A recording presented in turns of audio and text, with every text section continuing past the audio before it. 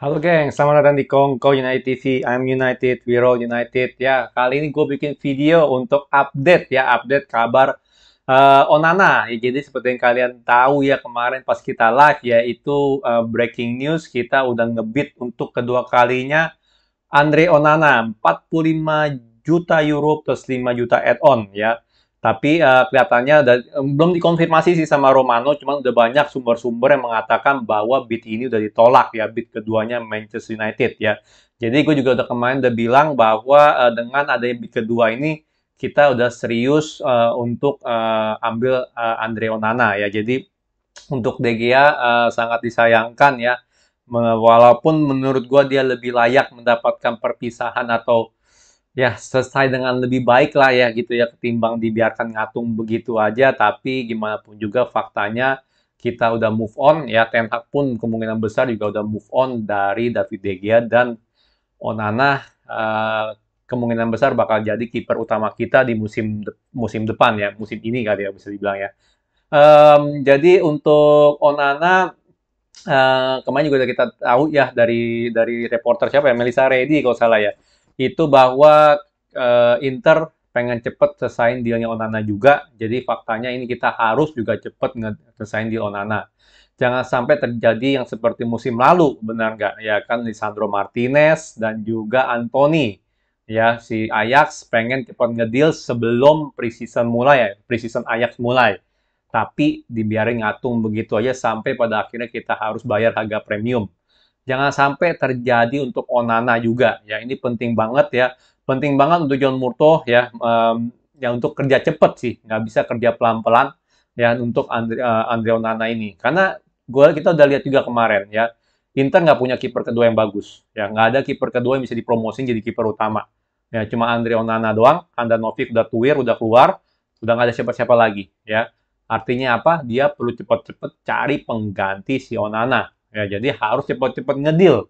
Ya, um, mungkin aja hari ini here we go ya ke Fabrizio Romano ya kan karena ya kata kata-katanya sih ya walaupun Inter ya Inter tetap minta harga 60 juta euro cuman banyak sumber mengatakan bahwa 50 plus 5 itu bisa untuk uh, ngeboyong Onana ya 50 plus 5 uh, harga yang cukup fantastis untuk seorang kiper tapi semoga aja worth it ya untuk Andre Onana ya. Um, jadi itu ya. Jadi sebenarnya ini sih uh, karena kita kedua ditolak uh, dan banyak sumber bilang kita bakal bisa ngedil 50 plus 5 tinggal tergantung sih ya John Murto oke okay nggak gitu untuk melakukan tawaran 50 plus 5 paket gitu ya kan kalau dia oke okay, menurut gue udah done deal langsung here we go ya jadi ini bisa terjadi kapan aja tergantung John Murto atau Richard Arnold kapan memutusin oh ya udah gitu loh penting punya kiper, harus sudah punya kiper sebelum preseason dimulai, ya kan, uh, biar biar bisa latihan bareng gitu loh. Nah, karena kiper perlu ada koordinasi juga. Lu mau build up kalau nggak ada koordinasi sama center back gimana?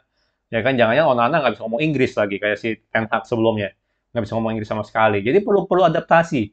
Ya, semoga aja uh, John Murto bisa gerak cepat ya, gerak cepat untuk secure deal ini.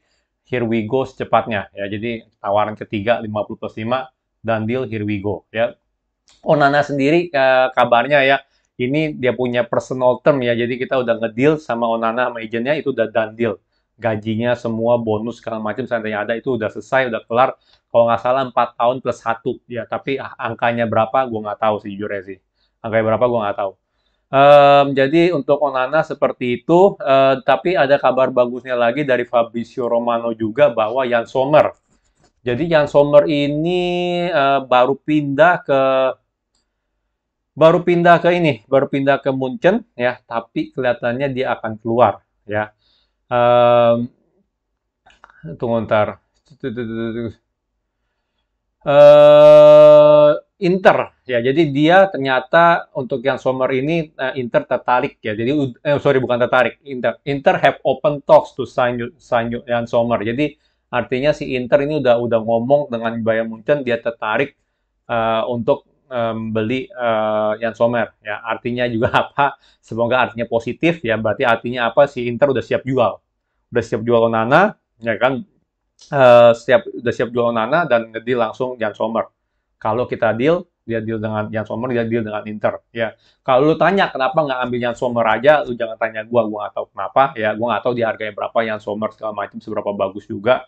Nah, dan terutama dalam segi build up ya. Gua nggak tahu gitu loh. Ya kan? Yang pasti ya Ten Hag maunya Onana sih, udah pasti karena sebelumnya di Ajax sekali ya. Jadi mungkin dia udah kenal tahu lah gitu ya kapasitas Onana seperti apa.